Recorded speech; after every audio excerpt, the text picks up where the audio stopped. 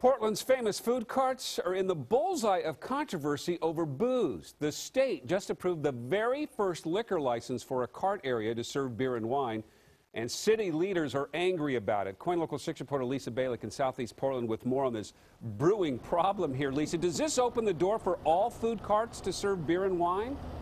No, at least not yet, Jeff, that's for sure. Because for those 700 food carts, in order to be able to serve beer or wine, there are just too many restrictions to be able to give you a beer along with that burrito. This is our standard size bun. James Knight cooks big food here in Cartlandia. He says he understands why Portland city leaders are upset the state gave a go-ahead for a beer garden here. They don't want every single food cart to be able to sell alcohol in, in the venue of downtown. We're not downtown. We don't have that venue.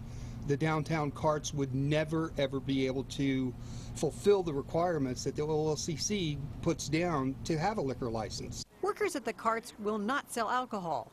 Instead, there will be a corralled beer garden in the center of this lot with security guards.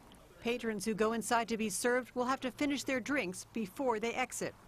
And the food carts have to be open if the alcohol is flowing. We're going to police it just like we do uh, people coming in here that don't want to buy food. We ask them to leave. Dave Yipparella just opened his cart Thai Mango here this week.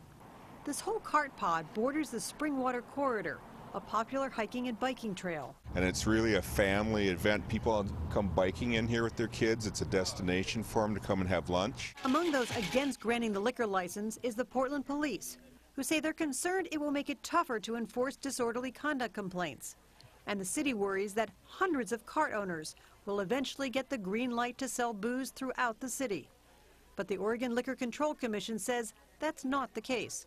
This license is for a beer garden zone, a one-year license approved for the property owner of the site. And there's certainly will be a lot of people watching over that one year to see what happens out there as a test case. Now, there are a lot of restrictions and rules. For example, you have to have a permanent location. You have to have a designated consumption area. They say that's why there won't be a full-scale, all-out beer on every corner sold at every food cart in Portland. Again, this is for one particular area, not one particular cart. Reporting for you live in Southeast Portland, Lisa Balick, KOIN Local 6. Okay, lots of rules and regulations. Thanks, Lisa.